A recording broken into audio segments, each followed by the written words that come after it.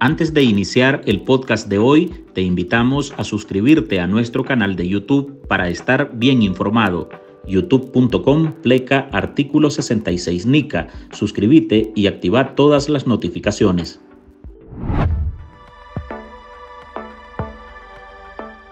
El uso de Nicaragua como trampolín para introducir migrantes irregulares en Estados Unidos forma parte de las principales preocupaciones del gobierno de Joe Biden. La administración demócrata quiere desarticular ese negocio montado por el régimen de Daniel Ortega y compañías aéreas. Los vuelos charter con destino a Managua son cada vez más frecuentes y para los Estados Unidos ya son notoriamente sospechosos.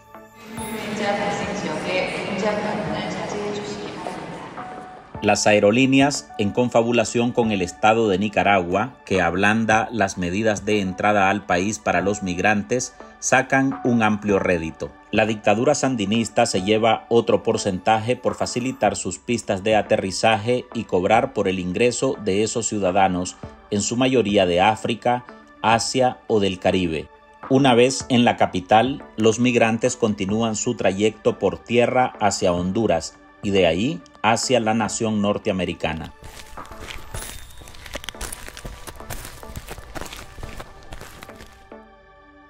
Esas acciones han causado un enorme problema en las fronteras de Estados Unidos, que sigue reaccionando para intentar frenar el tráfico de migrantes. Washington continúa su política de sanciones contra los altos ejecutivos de esas empresas que facilitan la migración de seres humanos a Managua, convertida por Ortega en la puerta de entrada a la migración irregular hacia Estados Unidos. Esta semana anunció sanciones a una empresa de vuelos charter europea, de la cual no especificó su nombre.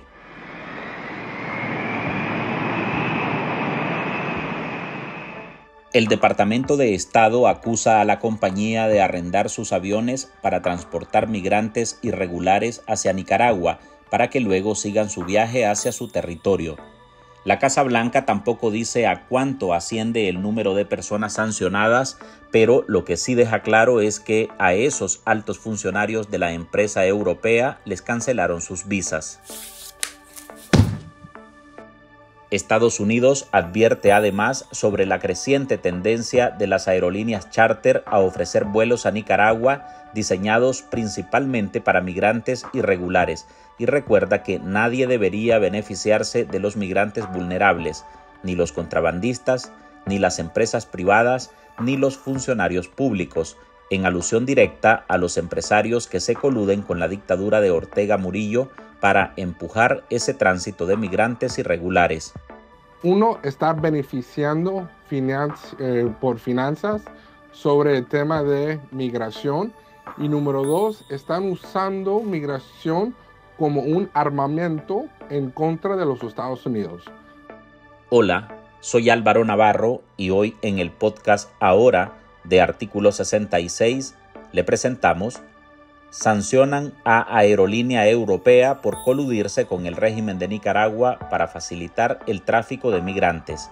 Cerramos semana analizando esta nueva medida de Estados Unidos contra los negocios con vuelos charter a Managua, que de paso dejan sumas millonarias a la dictadura sandinista de los Ortega Murillo.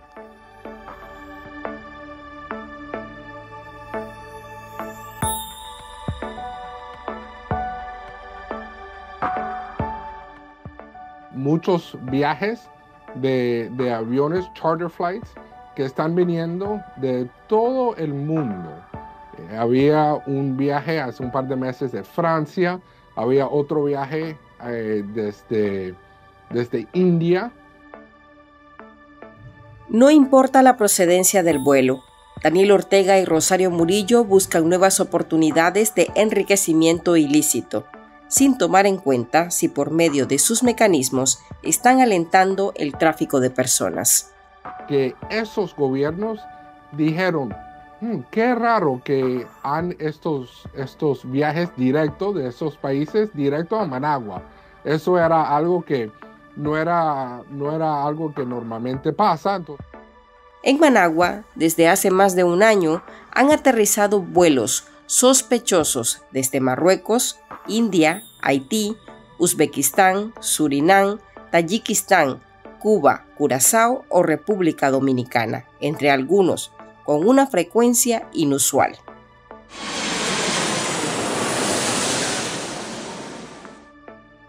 Al Aeropuerto Internacional Augusto C. Sandino han aterrizado miles de migrantes que usan a la capital nicaragüense como su trampolín para llegar a Estados Unidos. Desde Managua evitan el tapón de la peligrosa selva del Darién y la dictadura de Ortega se embolsa millones de córdobas con la tasa de impuestos y cobros extraoficiales.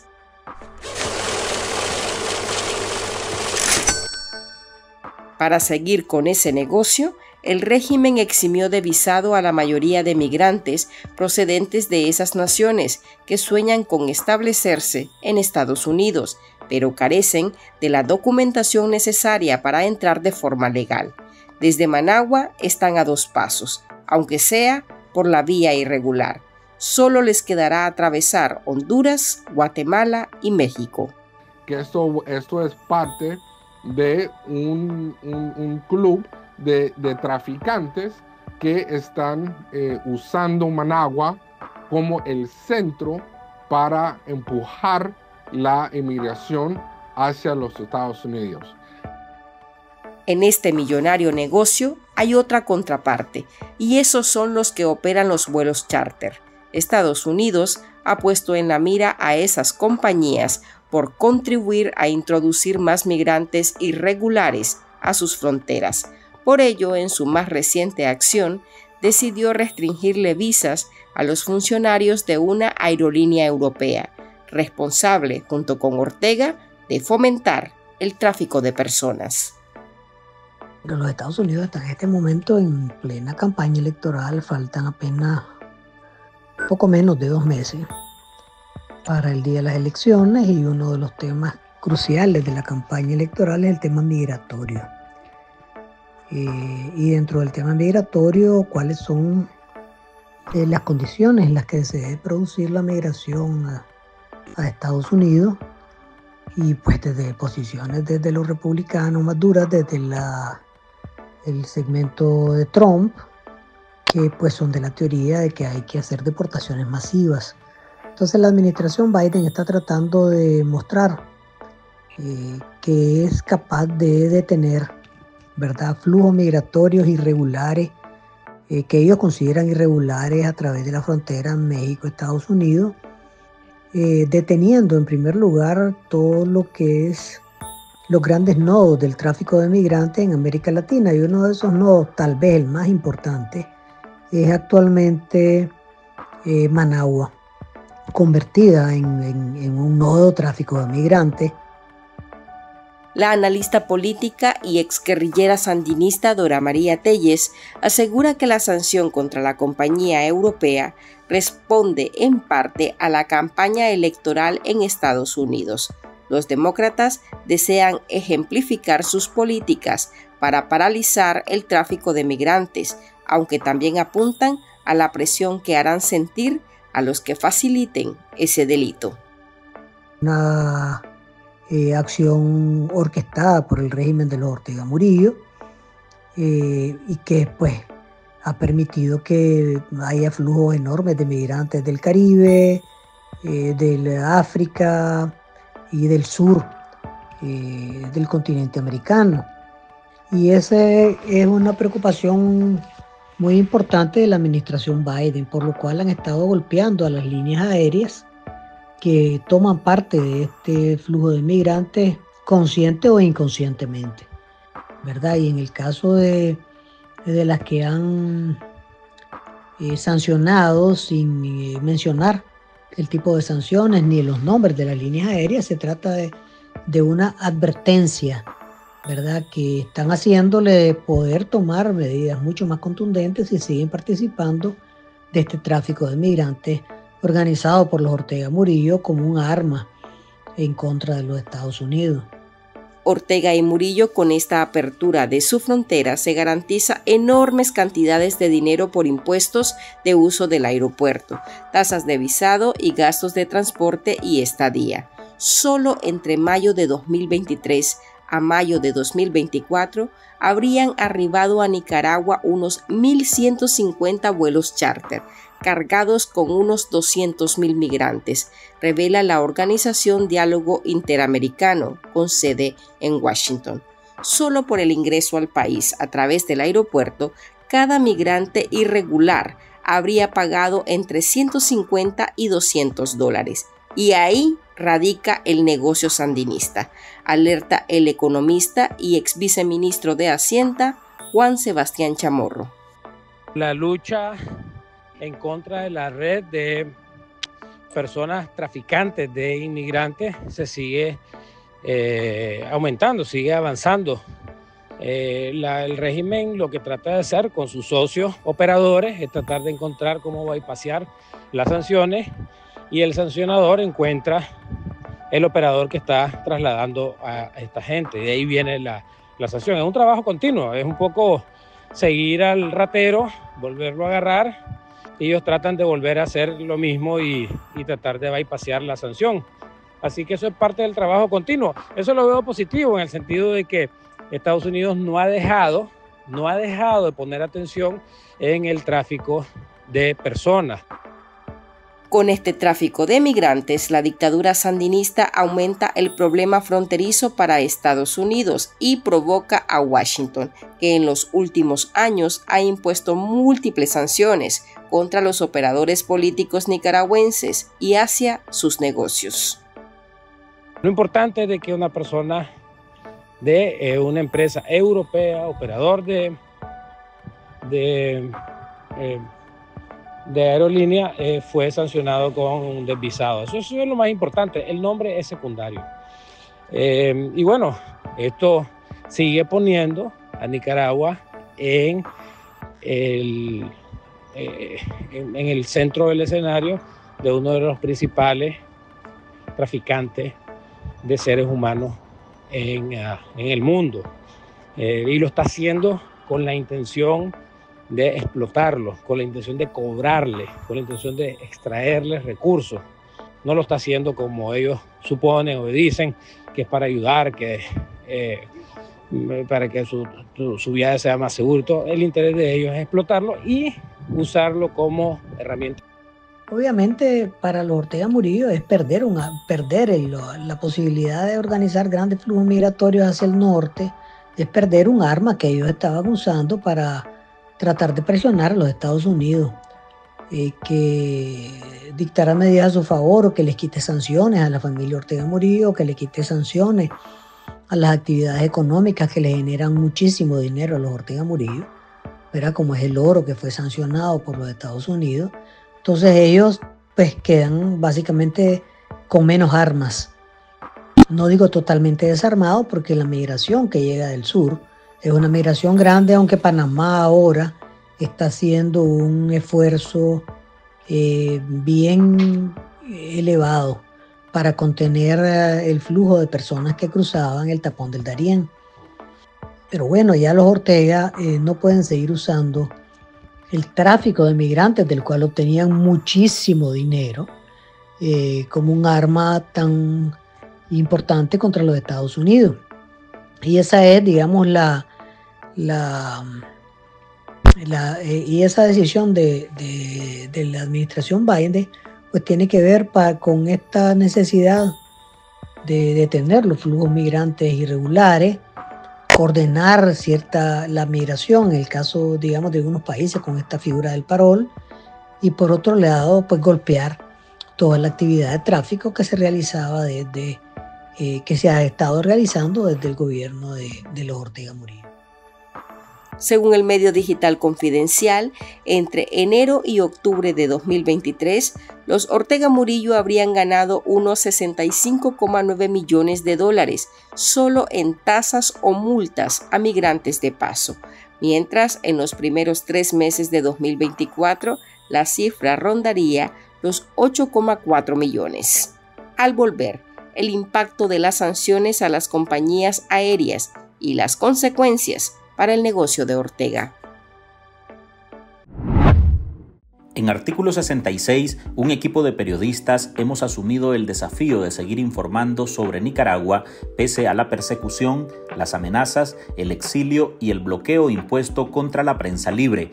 Mantener esta trinchera en defensa de las libertades públicas de todos los nicaragüenses es un compromiso que hemos asumido porque Nicaragua nos necesita. El desafío de financiar el periodismo que hacemos sigue vigente y siempre podés ayudarnos con una donación para garantizar la sostenibilidad de nuestra cobertura noticiosa, de las investigaciones que realizamos o la producción de este podcast. Tu contribución ayuda a mantener viva la llama de la libertad. No nos dejes solos. Unite a nuestro programa en artículo66.com pleca donar y contribuí con lo que te sea posible. Toda ayuda, sin importar el monto, es infinitamente vital para nosotros. Recordá artículo66.com pleca donar. Muchas gracias. A los migrantes le, le cobran algo como 10 mil, algunas veces hasta 20 o 30 mil dólares por viaje. Entonces ellos, claro, reciben un porcentaje de, de ese dinero. La necesidad de la búsqueda de una estabilidad económica obliga a miles de migrantes a apegarse a esa vía de vuelo a Managua, sin tomar en cuenta los riesgos a posteriori y cargando la incertidumbre de si lograrán su objetivo, entrar a los Estados Unidos. Las sanciones contra las operadoras de vuelo frenan momentáneamente ese tráfico de personas y hacen que otras compañías la piensen dos veces antes de entrar en ese negocio ilícito. Sin duda, estas restricciones a las líneas aéreas y estas sanciones a líneas aéreas pues está afectando el flujo de migrantes que llegaba vía Managua. Obviamente, ¿verdad? Eso tiene, digamos, la migración africana necesita aviones para llegar, la migración caribeña también, aunque en el caso de la migración de Cuba, Haití o qué sé yo, otras de las islas del Caribe se realiza eh, utilizando Conviasa, que es la línea aérea del gobierno de, Venezuela, y que pues eh, no, no le importa estar afectado por esas sanciones, pero en todo caso se frena todo el flujo que está viniendo de África y de algunos países eh, del este del Medio Oriente, ¿verdad? Que ya se había visto pues esta, esta migración. En noviembre de 2023, Washington impuso restricción de visado a empresarios que promovían una tendencia creciente llevada a cabo por compañías de vuelos charter que ofrecen vuelos cobrando precios de extorsión. En junio aplicó por segunda vez esa medida y en la tercera ocasión fue el pasado 11 de septiembre de 2024. En ninguno de los casos se detalló sobre quiénes recayó la medida. Hoy por la administración de Biden es un reconocimiento que esto está pasando, que nosotros vemos lo que está pasando y que vamos a tomar acciones sobre este tipo de de eh, criminalidad, que está pasando en Nicaragua. Hasta aquí llegamos con esta edición de nuestro podcast ahora de este viernes. Gracias por compartir en todas sus redes sociales y recuerde que en artículo 66 seguimos comprometidos con investigar la corrupción y publicar los hechos que nos afectan como país. Usted lo puede hacer con nosotros. Su aporte a este medio de comunicación es valioso y puede dejarlo en artículo66.com diagonal donar. Soy Álvaro Navarro, nos oímos en el próximo episodio.